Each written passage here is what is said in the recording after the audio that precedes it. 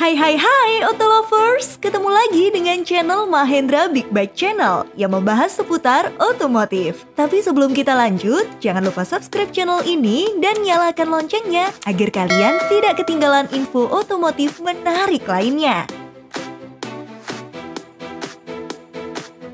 Heboh nih brosis? Sosok skutik bergaya retro modern yang disebut sebagai sosok New Honda Scoopy 150 facelift muncul nih brosis. Di mana seperti yang kita ketahui brosis, jika beberapa waktu lalu kabar mengenai Scoopy 150 akan meluncur di pasaran.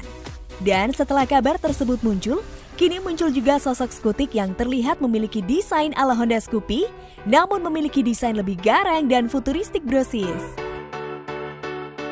Mulai dari desain headlamp pada sosok skutik ini, yang memiliki desain single headlamp serupa dengan Honda Scoopy namun memiliki bentuk yang serupa tameng dan lebih futuristik, serta sen yang berada pada kedua sisi luarnya.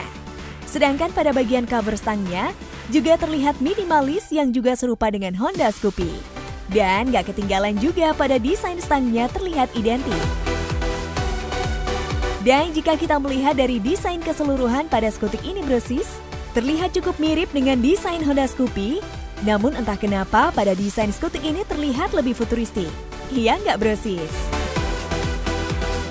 Selain itu pada bagian stop lampnya juga cukup identik dengan Honda Scoopy yang memiliki desain bulat namun perbedaannya terletak pada bagian sennya.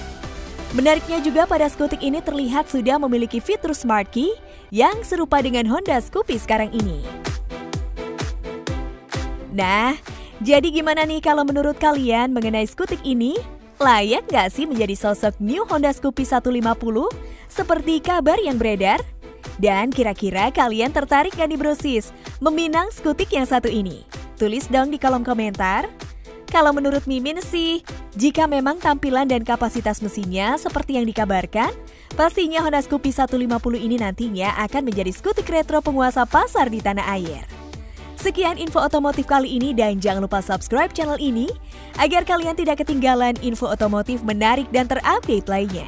Mwah.